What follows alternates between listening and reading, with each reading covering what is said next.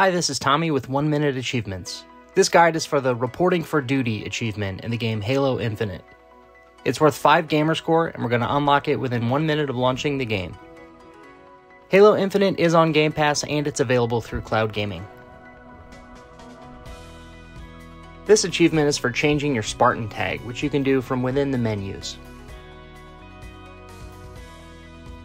So once you connect and get to the title screen, press RB to go over to Customize, then go down to Spartan ID, the bottom option. Select Service Tag and enter anything 1 to 4 characters. I'm entering OMA for 1 minute achievements. When you're finished, press the menu button and the achievement should unlock.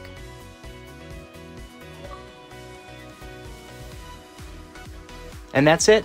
Thanks for watching and subscribe for more 1 minute achievements.